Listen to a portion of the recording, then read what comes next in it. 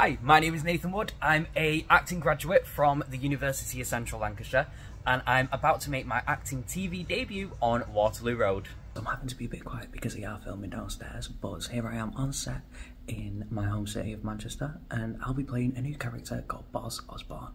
I will forever be grateful to UCLan and its acting course for helping me get to this exciting point in my career and I've had an absolute ball of a time being here and I owe a lot of that to UCLan and its course because um, it helped prepare me and it helped kind of settle my nerves on set, knowing what to kind of expect.